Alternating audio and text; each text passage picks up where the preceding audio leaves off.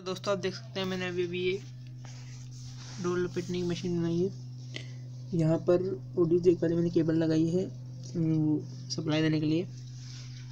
एक नॉर्मल सा switch on of करने के लिए। ताकि ये बोतल के ढक्कन है, दो चिपकाए हैं मैंने। एक इधर छोटे वाले छेद के लिए, इधर यहाँ पर बड़े वाले गिरी के लिए। बाकी स्टैंड लकड़ी का बनाया मैंने पार्टी के ऊपर। अब चलिए मैं इसे चला के दिखाता हूँ, ये हमारा स्विच इसे हम ऑन करते हैं।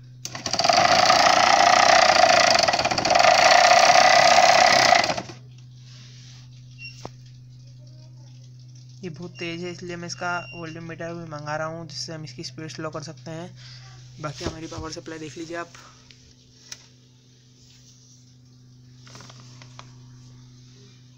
यहाँ से ये दो तार आ रहे हैं जो कि यहाँ पीछे कनेक्ट है। इसमें अगर हम इसको निकाल देते हैं, इसका मतलब इसमें सप्लाई कट है। इसके बाद अपन इसको चलाएँगे तो ये नहीं चलेगी।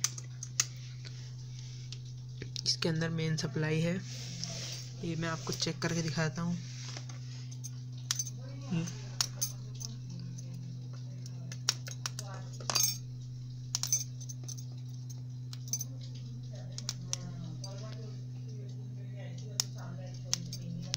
पे इसको जोड़ दिया है और ये जो आप देख रहे हैं अंदर, इसके अंदर एक वन फोर्टी रुपीज़ की मोटर है ये बारह वोल्ट की मोटर है। ये तो मैंने अंदर से फिट कर रखा है, ये बाकी कोई काम का नहीं है, सिर्फ़ दिखाने के लिए। इसकी स्पीड बहुत अच्छी है, आप देख चुके हैं।